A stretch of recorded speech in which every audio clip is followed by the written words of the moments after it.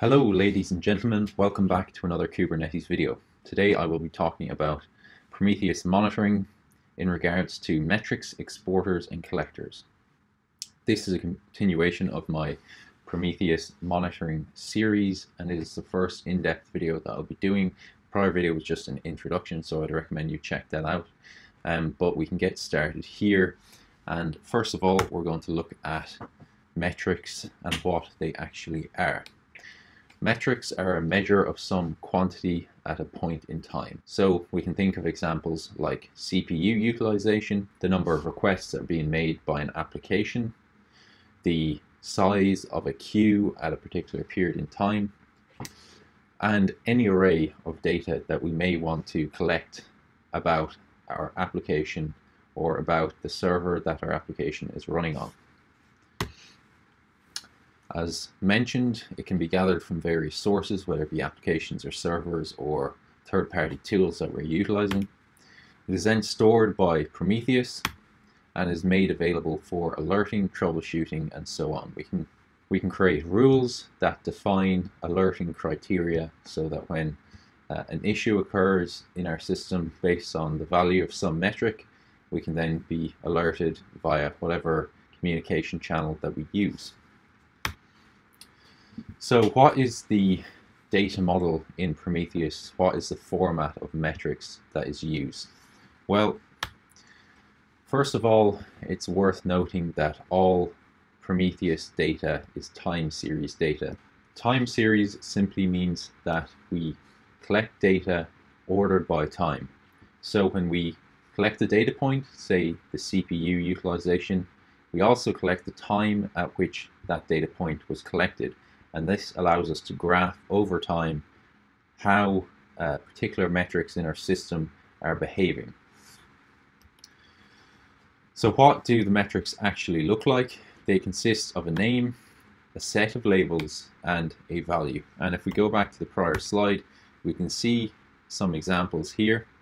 The labels are optional, so in the first example we just have a name and a value, but we can also have this set of labels within the curly braces. So in this case, we just have a single label, which is status equals 200.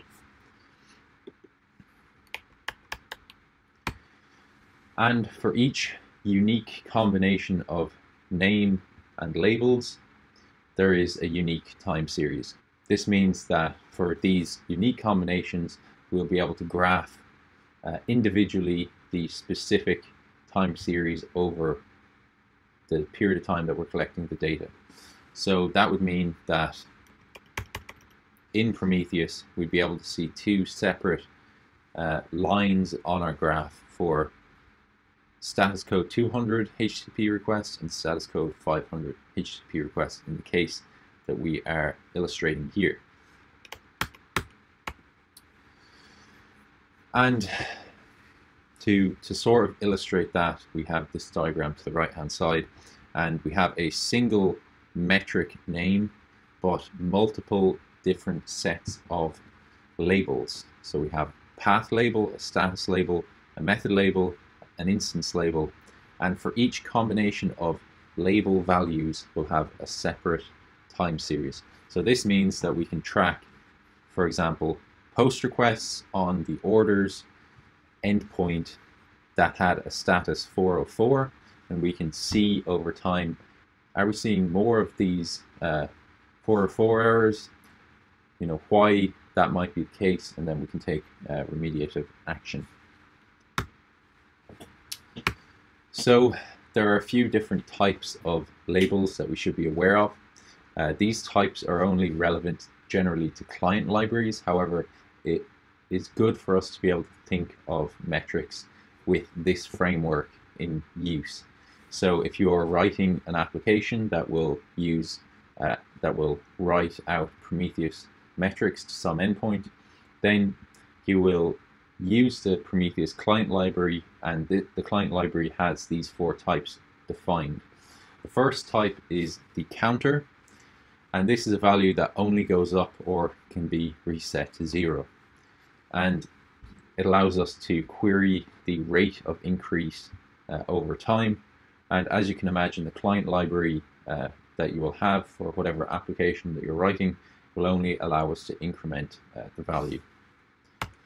Another metric type that we have is gauge, and a gauge allows us to track a value at a given point of time. But the difference between a gauge and a counter is that a gauge can decrease as well as increase. Next is histogram, and a histogram type metric is used for values that need to be grouped into specific buckets. So Prometheus will have predefined buckets that you can use to collect these data and analyze the data, uh, or you can specify your own buckets that the data will be collected into. So, for example, um, generally the buckets are in small incremental sizes between 0 and 10. I don't have the exact values here, but it might be something like between 0 and 0.5, 0.5 and 1, 1 and 2, 2 and 5, and so on, something along those lines.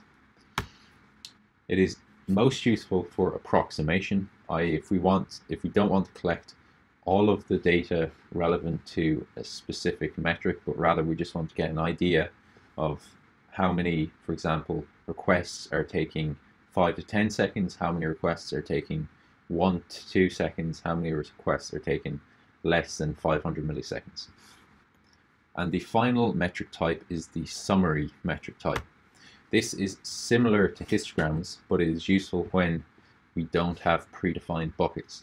Histogram was introduced to replace summary, so it is highly recommended that we use histogram wherever possible. Additionally, there is a difference in that the grouping into buckets takes place on the Prometheus side with the histogram metric type. However, with the summary metrics metric type, it has to be done by the application itself before it is written to Prometheus. Next, let's look at exporters and what exporters uh, do, their function in the whole Prometheus landscape. Exporters are an endpoint exposing Prometheus metrics. They run alongside an application or on a server. They gather metrics and expose them in the Prometheus format. So, to give you an example of an exporter, I can show you over here. I'm running a Minikube cluster and one of the default exporters that comes with the Prometheus stack is the node exporter. So if I simply run kubectl port forward,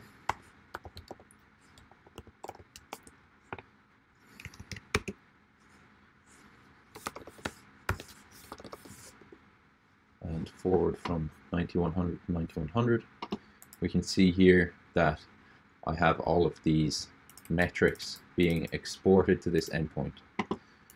In Prometheus, if we want to see that, we can look at the targets endpoint and we can see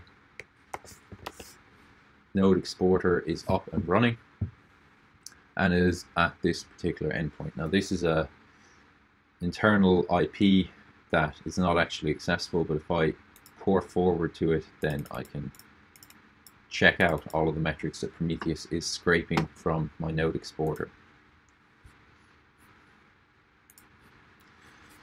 Now, collectors. Collectors are a part of the node exporter that represents a set of metrics.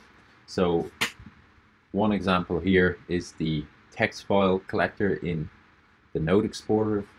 If you want to export metrics that are being written to any file within your file system, you can just specify you want to run node exporter with the text file collector and then specify the directory in which the file that you want to read from is located.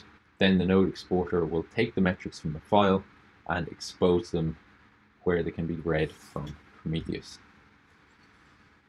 So it should be apparent at this point that Prometheus uses a pull-based system in order to read metrics. That is, exporters expose metrics via HTTP endpoints. they'll have a list of all the metrics as we just saw right here. So for example, node disk discard time seconds total. That's a that's a metric that Node Exporter is exporting to us.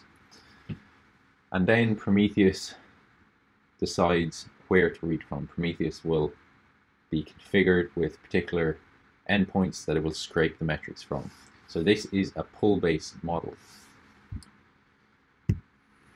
So the benefits of having a pull-based model are the flexibility in who collects metrics and from where. So you can imagine if we had a push-based model, every time that we wanted to push metrics to another location, the person who is responsible for the service and the piece of monitoring uh, software alongside that service would have to modify the monitoring software and tell it to send the metrics to another location and another location.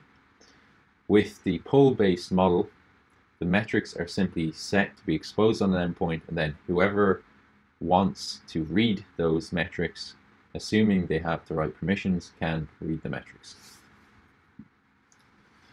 We also keep track of what endpoints should exist within our entire ecosystem. This is important because if we use a push-based system, there is no way for us to detect the absence of a particular endpoint because we're not keeping track of where the metrics are coming from, we're just keeping track of the metrics themselves. So this is an additional advantage of Prometheus and the pull-based system. One exception to the pull-based system are jobs. So sometimes if we're running short-lived jobs or cron jobs, those kind of things, there, it may not be possible to uh, scrape metrics from the job as it is such a, a transient piece of software. So in this case, we have the Prometheus push gateway and temporary jobs will write to the push gateway. Then those uh, metrics that are written get exported or just exposed on an endpoint via the push gateway and Prometheus again reads from that. So it is uh, push based on the job side to push gateway, but it's still pull based on the Prometheus side. So that is my video on metrics, exporters and collectors. I hope that was a little bit useful. If you have any questions, please do leave a comment and I'll get straight back to you. Please like and subscribe and I will talk to you in the next video.